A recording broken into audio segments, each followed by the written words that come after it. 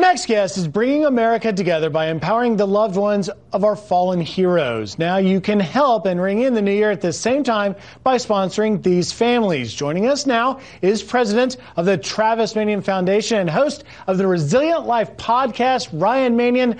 Ryan, Happy New Year. Uh, good afternoon to you. Thanks for joining us. Full disclosure, Ryan and I have known one another for a long time. I've run several marathons because of her, and it's exciting to have you here because TMF and you specifically have helped bring families together during COVID, and now you have a new program, a 12 month program. What are you doing?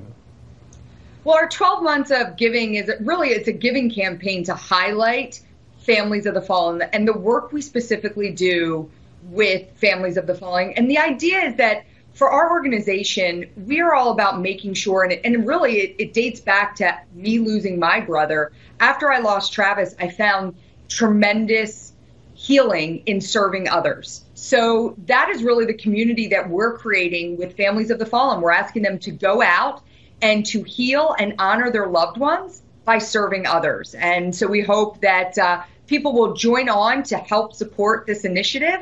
But the things that you see families of the fallen do each and every day through the Travis Manion Foundation is so inspiring. I know you've seen it, Griff. Um, you've been around a lot of these families, and they go on to do such tremendous things. Yeah, you know, Travis's motto was, if not me, then who? That's why he signed up and gave his life during courageous service. Ryan, not just uh, families of the fallen, but really all Americans felt isolated and struggled during this last year, and TMF was there to help. You know, 2020 was hard for us all, and um, we all faced challenges and adversity and had to overcome things. But I was so incredibly inspired by the Travis Manion Foundation community. We call each other Spartans, and our Spartan community did what they do best. They stepped up to serve the local communities.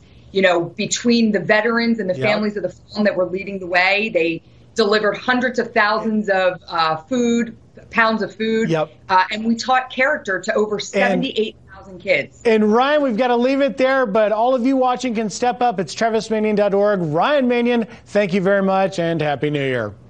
Thanks, Griff. Well, that's all for us.